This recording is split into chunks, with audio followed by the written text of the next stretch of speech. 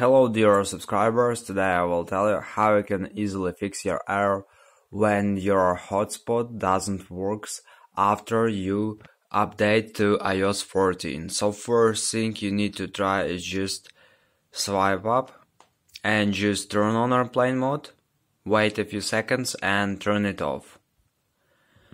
So after you need to open the settings and in the settings you need to choose personal hotspot and just uh, check here if you allow to others so allow others to join. If you turn on here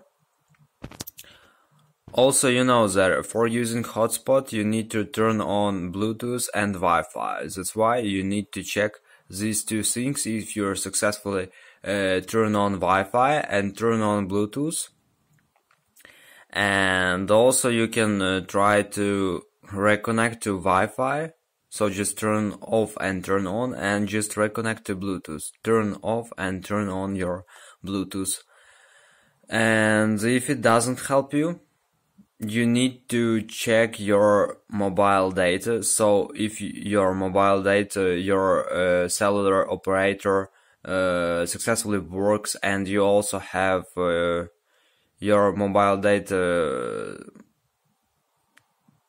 working. So just turn off here and turn on. Just try to reconnect your mobile data.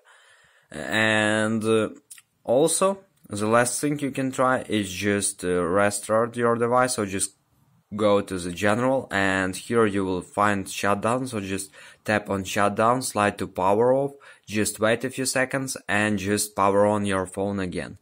And the last thing you can try is just to uh, make forced restart so just keep holding power and low volume button until you will see here Apple logo. So you need to hold these two buttons, low volume and power button, about 10 seconds. So until you will see Apple logo, just release your fingers and it means that you successfully made force restart. So, and if it doesn't help you too, you can try, I know, just uh, to go to reset and just try reset network settings. So just tap on reset network settings and just submit it. So I hope that it will help you. Thanks for watching. Have a nice day. Subscribe to my channel. Click like and goodbye.